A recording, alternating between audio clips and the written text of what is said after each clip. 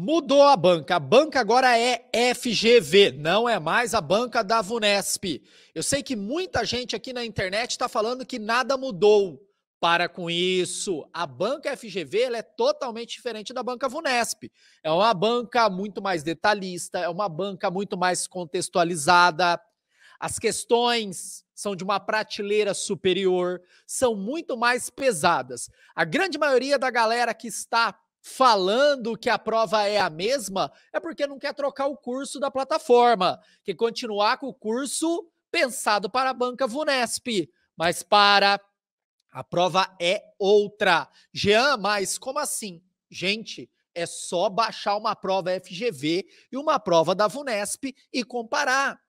São provas diferentes.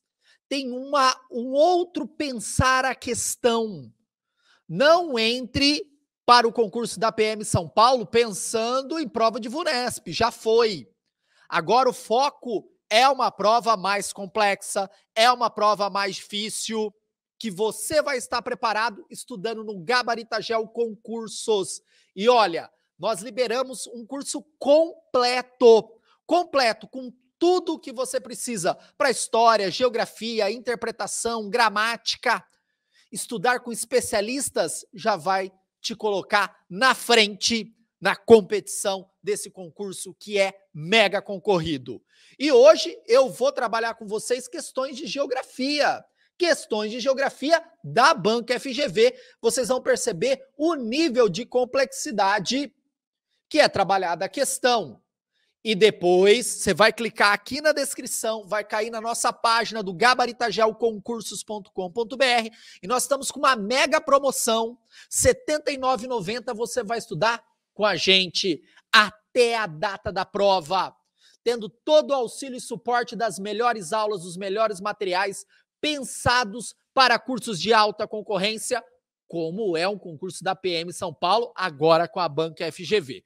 Bora lá, vamos para a questão, porque aqui é Gabarita Gel Concursos FGV Geografia. Bora lá, conhecimentos gerais. Fala, pessoal do concurso da PM São Paulo, professor Geografia, aula de Geografia Urbana em cima de uma questão, olha aqui, da FGV. Quando nós falamos de geografia urbana, nós estamos falando de cidades. E o primeiro ponto que você já tem que trazer como conhecimento é a classificação dessas cidades. Então, se ela é uma cidade global, se ela é uma mega cidade, se ela é uma metrópole nacional, se ela é uma metrópole regional, se ela é uma cidade média. Mas para você classificar ela, você tem que analisar função e rede a função determina o número de redes, que vai determinar a sua hierarquia. Tem lá aula completa no Gabaritagel Concursos.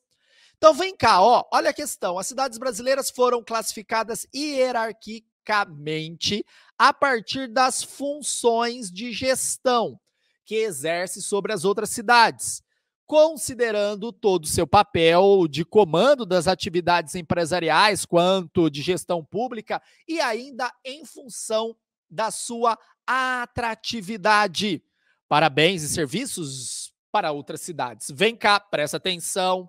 Quando nós falamos função urbana, é o que a cidade desempenha para o capital. Então vamos imaginar, vamos imaginar aqui a cidade de Aparecida. A cidade de Aparecida, no Vale do Paraíba, é uma cidade de turismo. De turismo que, Jean? Religioso. Isso aqui é a função que a cidade exerce para o capital.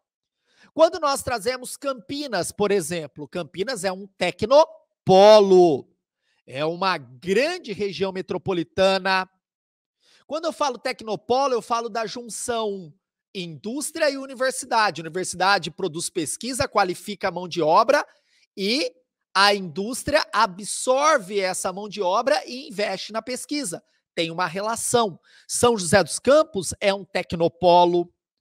Agora, se eu trago uma cidade mais do interior, por exemplo, vamos falar de Jaboticabal. Jaboticabal é uma cidade ligada mais ao setor agrícola.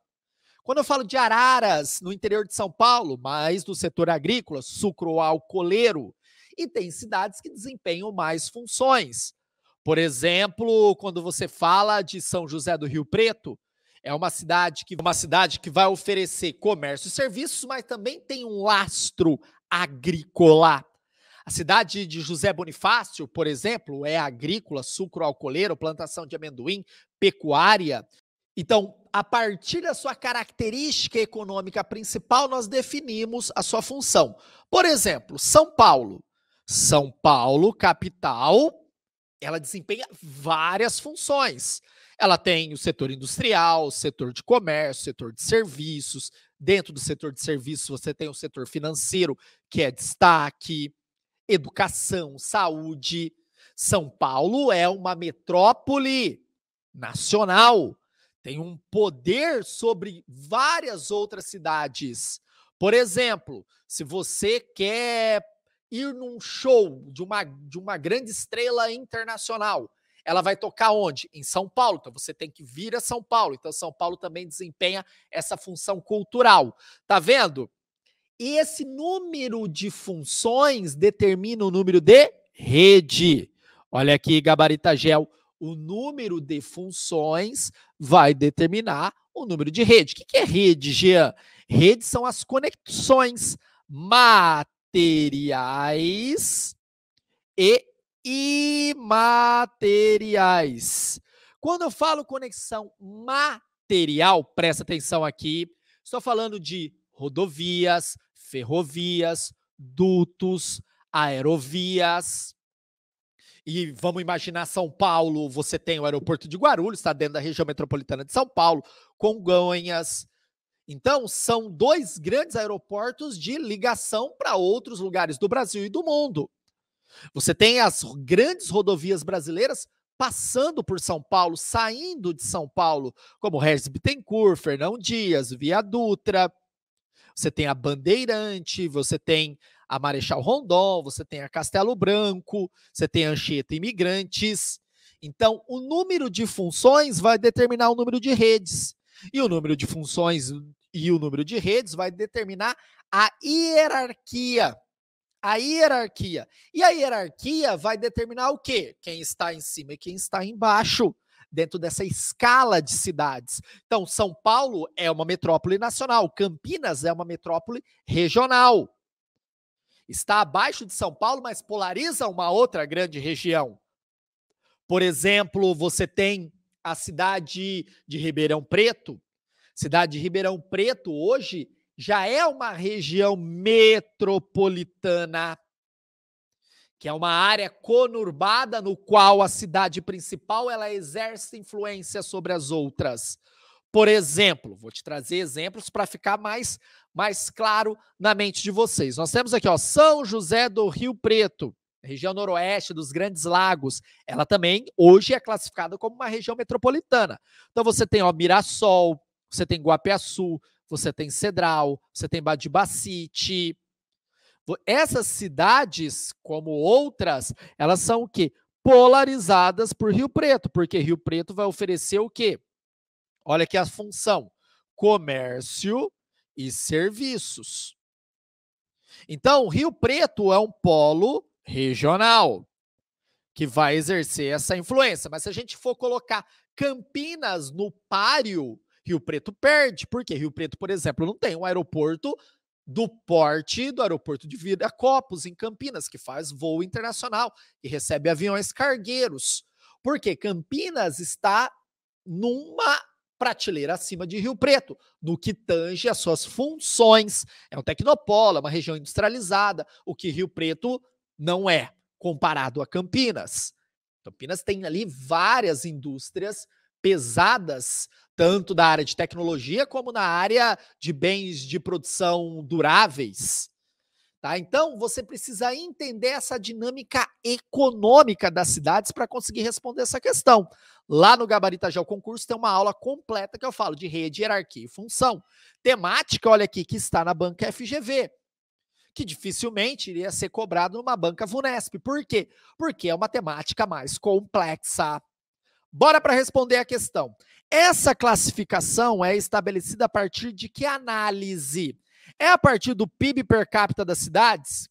toda a riqueza produzida em determinado período dividido pelo número de habitantes? Não. É pela área de influência. O que eu falei para vocês, a área de influência. Então, Rio Preto tem influência nessas cidades, mas se você coloca Campinas, Rio Preto está subordinada a Campinas. Se eu coloco São Paulo, Rio Preto e Campinas está subordinada a São Paulo. O plano diretor, gente, nada a ver, né? O plano diretor é um plano de crescimento da cidade, zoneamento ambiental, zoneamento urbano, para onde a cidade vai crescer, né? Um plano pensado pelo poder legislativo, executivo, com participação da sociedade civil. Densidade demográfica, número de habitantes por, por quilômetro, por. Não. Déficit, não. Aí viajou. A resposta certa é a alternativa B, área de influência das cidades. Né? Nós estamos falando aí de uma subordinação de uma sobre a outra. Beleza? É uma questão FGV, uma questão pesada, muito bem elaborada e que você vai acertar se você virar Gabaritagel Concurso. Calma aí, eu vou te mostrar rapidinho o curso, você vai ver que vale muito a pena. Eu vou mostrar aqui para vocês ó, o curso de Geografia Física para o concurso da PM São Paulo, Banca FGV. A gente não economiza no conteúdo. É melhor você estudar, se preparar de uma forma bem solidificada do que achar que vai passar né, no macete, no hack, numa aula rasa. Então, nós, ó, trazemos todo o conteúdo liberado para você. Então, aqui, ó, toda a parte de cartografia, toda a parte de geologia, de relevo e pedologia, matemática que sempre aparece, ó, relevo brasileiro, estrutura do relevo. As aulas são acompanhadas ó, pelos livros digitais, as listas de exercícios, os mapas mentais. Se você descer aqui, ó, climatologia, que é uma temática também importante. Isso aqui é só a parte de geografia física. Biomas, né, os domínios morfoclimáticos, biomas brasileiros, os tipos de biomas. Aqui, ó, a parte de geografia humana. Olha a temática que nós abordamos aqui na, na questão, ó. Rede e função. Rede e função. Hierarquia urbana. Temática bem pesada.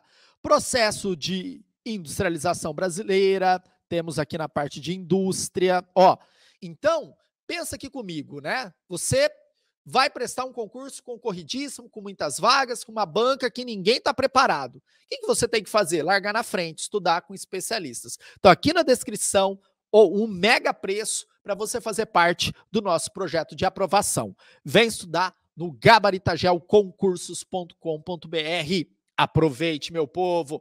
E tamo junto, ó. E mais aulas aqui no canal. Já se inscreva, já desce o dedão no like. 100 likes, mais uma resolução de questões para a gente entender como é essa banca. Valeu, pessoal. Tamo junto.